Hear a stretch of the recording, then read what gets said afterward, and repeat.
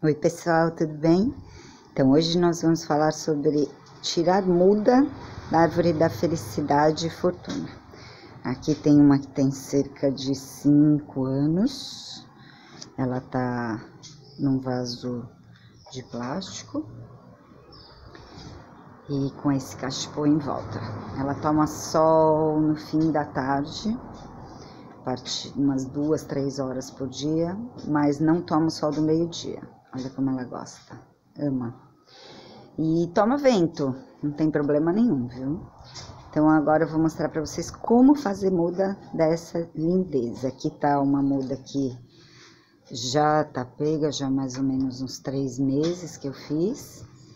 E aqui eu vou mostrar para vocês como eu fiz essa mudinha aqui, que é a o teste de hoje. Vamos lá. Então, você vai pegar uma árvore da felicidade que tenha pelo menos um metro de altura. Vamos lá na base dela. Isso. Esses brotos da base mostram com esse verde claro, vou chegar bem pertinho, aonde que a gente pode cortar. Então, aqui, ó, vendo?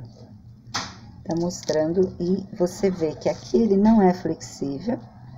E aqui onde a gente vai cortar com a mão mesmo, ó, ele solta. Esse é um brotinho de tamanho médio, ele até tem já um brotinho nele. E como ele saiu agora do plantio, a gente pode diminuir um pouco esse galho porque ele realmente estava com muitas folhas. Sim, nós vamos também enraizar esse galinho que a gente tirou. Qual é o processo? Muito simples. A água tem que estar tá bem molhadinha e você vai colocar ele 3 centímetros para dentro, bem pouquinho, só a pontinha dele mesmo. Isso, esse aqui é o broto da árvore da felicidade. Agora vamos pegar da árvore da fortuna. Então, você, como você vai diferenciar? Vai vindo pelo caule, vai seguindo o caule dele, que eles se encontram aqui embaixo.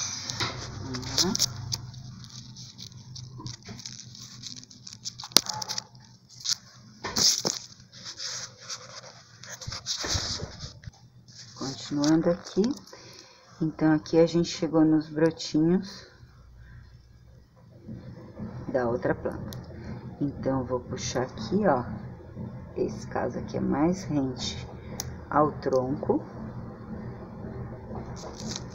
Vamos pegar mais um para garantir. Tá vendo? E não precisa se preocupar porque é como se fosse uma poda para a planta. Ela não vai ter esse desgaste com esses brotinhos que vêm de baixo, então ela vai se concentrar mais na altura dela. Então aqui a gente vai colocar na terra, fazendo um buraquinho bem pequenininho mesmo, a terra tá bem molhada, tá vendo? E vamos infinita até ele ficar retinho, meio molinho mesmo. Você vai regar sem deixar ele no sol direto, deixa no sol indireto. Cerca de três semanas ele vai começar a enraizar. Rega com um copo de água com arroz e depois você coa o arroz e usa essa água do arroz. Isso vai acelerar o processo de enraizamento. Esses primeiros que foram colocados eu já vou conseguir mostrar para vocês na semana que vem como é que eles ficaram. Legal? Então, se ficou alguma dúvida, por favor, inscreva-se no canal, dá uma olhada nos vídeos e boa sorte no seu plantio.